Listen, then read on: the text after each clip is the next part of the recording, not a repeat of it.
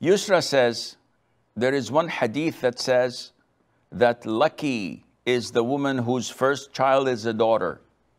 If first child is a son, does it mean that a woman is not lucky?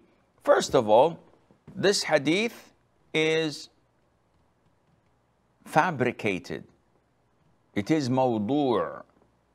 Not only that it is not authentic, it is fabricated. It's, it has no roots in authentic books of hadith. Somebody came and made it up.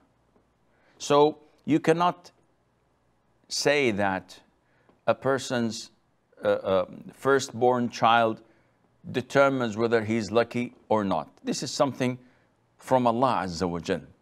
Allah gives whom He wishes females and gives whom He wishes males, or mix them, males and females, and He makes whomever He wishes barren, no children.